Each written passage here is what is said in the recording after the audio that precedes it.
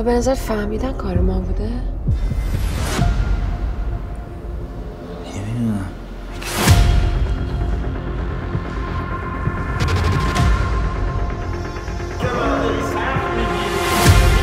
مقصر نیست عزیز من. من کجا میارم خسارت یارو رو بدم؟ من می‌دونم